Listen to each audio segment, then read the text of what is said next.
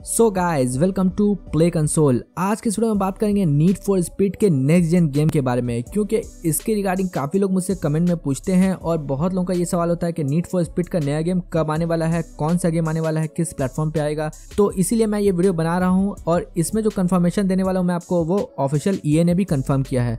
तो क्या है इस गेम की डिटेल्स इस वीडियो में आपको बताऊँगा तो मेक श्योर आप इस वीडियो को पूरा देखें और अगर अपने चैनल पर नए हैं तो चैनल को सब्सक्राइब कर दें और बेलाइकन को प्रेस कर दें।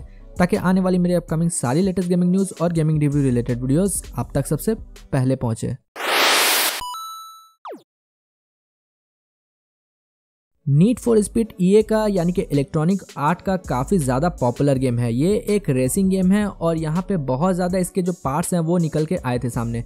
Like need for speed hot pursuit need for speed most wanted तो ये सारे गेम्स जो है नीट फॉर स्पीड की तरफ़ से हमें देखने को मिले थे। लास्ट जो इसका गेम था वो आया था नीट फॉर स्पीड हिट जो कि 2019 में रिलीज़ हुआ था PlayStation four Xbox one PC पे। उसके बाद से हमें नीट फॉर स्पीड के रिगार्डिंग कोई भी इन्फॉर्मेशन नहीं मिली। लेकिन बैक इन फरवरी 2020 ईए ने ऑफिशियल इस चीज़ को कन्फर्म किया कि वो लोग एक नीट फॉर स्पीड के नेक्स्ट जनरेशन गेम पर काम कर रहे हैं, जो कि नेक्स्ट जेन कंसोल के लिए होने वाला है। और उस वक्त प्ले स्टेशन फाइव और एक्स सीरीज़ एक्स मार्केट में लॉन्च भी नहीं हुए थे तो तभी ईए ने ऑलरेडी कंफर्म कर दिया था। बट उस कंफर्मेशन के बाद से कोई भी डिटेल नहीं आई नीट फॉर स्पीड के नेक्स्ट गेम के रिगार्डिंग लेकिन इस बार ये रिपोर्ट निकल के आ चुकी है और ये एक तरीके से कंफर्म हो चुका है कि क्राइटेरियन गेम्स जो है वो ईए के साथ मिलकर इस next generation Need for Speed game पर काम कर रहे हैं। क्राइटेरियन गेम्स के बारे में आपको ऑलरेडी पता होगा, काफ़ी ज़्यादा पॉपुलर गेम स्टूडियो है। ये रेसिंग गेम्स में काफ़ी ज़्यादा पॉपुलर है। बर्नआउट सीरीज़ जो है वो इन्हीं का बनाया हुआ है और इंक्लूडिंग इन्होंने मल्टीपल गेम बनाया है like Need for Speed Hot Pursuit Need for Speed Rivals Need for Speed Most Wanted और इवन बैटलफील्ड 2042 बट अभी न्यू रिपोर्ट निकल के आई है टॉम हेंडरसन की तरफ़ से। अब आपको पता होगा ये काफ़ी ज़्यादा रिलायबल और ज़बरदस्त इंडस्ट्री इंसाइडर हैं। इनके लीक जो हैं ऑलमोस्ट एक्यूरेट होते हैं।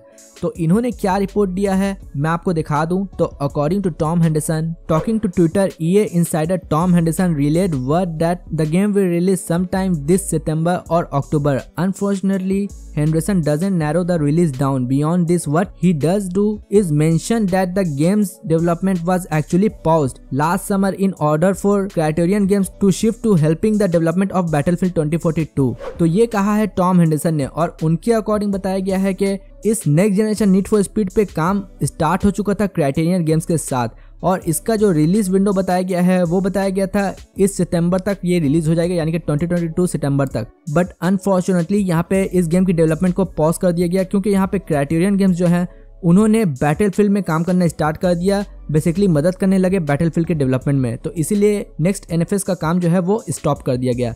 बट अब जो है बैटल फ़ील्ड कंप्लीट हो चुका है रिलीज़ भी हो चुका है तो अब वो लोग वापस से फ़ील्ड में आ चुके हैं और उन्होंने next generation Need for Speed पे डेवलपमेंट स्टार्ट कर दिया है। तो यहाँ पे टॉम हेंडरसन ने काफ़ी कुछ कंफर्मेशन दे दी है। तो इस हिसाब से अगर ये सितंबर 2022 में लॉन्च होने वाला था तो मुझे नहीं लगता कि अब ऐसा हो पाएगा क्योंकि डेवलपमेंट पॉज हो चुकी थी इसकी।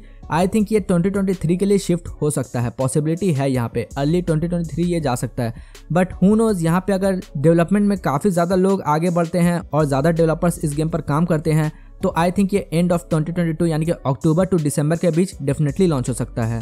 और रिपोर्ट के अकॉर्डिंग बताया गया कि ये नेक्स्ट जनरेशन कंसोल्स के पावर का काफ़ी ज़्यादा फुल यूटिलाइज कर सकता है अगर ये एक्सक्लूसिव नेक्स्ट जेन गेम होता है, क्योंकि रिपोर्ट के अकॉर्डिंग यही बताया जा रहा है कि next gen exclusive racing game होने वाला है ये EA की तरफ़ से। और यहाँ तक कि इसका स्नीक पिक जो है, काफ़ी टाइम पहले EA ने रिवील भी किया था अपने नेक्स्ट जनरेशन शोकेस में। तो हाँ ये गेम अंडर डेवलपमेंट में है डेफिनेटली इस साल के एंड तक लॉन्च हो सकता है पॉसिबिलिटी है, वरना अर्ली ट्वेंटी में तो डेफिनेटली हो जाएगा अब देखते हैं आगे क्या रिपोर्ट आती है इस गेम के रिगार्डिंग और इसका नाम क्या होता है। क्या ये नीट फॉर स्पीड का मोस्ट वांटेड का कोई सीक्वल होगा या फिर कोई नया नीट फॉर स्पीड का गेम होगा? ये चीज़ हमें देखना है। बाकी आप मुझे कमेंट सेक्शन में बताएँ कि आपको ये वीडियो कैसा लगा है और आपका favourite Need for Speed game कौन सा है। तो आप मुझे कमेंट में अपने ओपिनियन ज़रूर दें और अगर आपको ये वीडियो अच्छा लगा है तो वीडियो को लाइक कर देना चैनल को सब्सक्राइब कर देना और बेलाइकन को प्रेस कर देना ताकि आने वाली मेरी अपकमिंग सारी लेटेस्ट गेमिंग न्यूज़ और गेमिंग रिव्यू रिलेटेड वीडियोज़ आप तक सबसे पहले पहुँचे। और अगर आपको लगता है कि मेरा कंटेंट हेल्पफुल और इन्फॉर्मेटिव होता है तो मेरे वीडियोस को ज़्यादा से ज़्यादा शेयर करें और इस वीडियो को एक लाइक ज़रूर करें। तो मिलते हैं अपने नेक्स्ट वीडियो में। Till then take care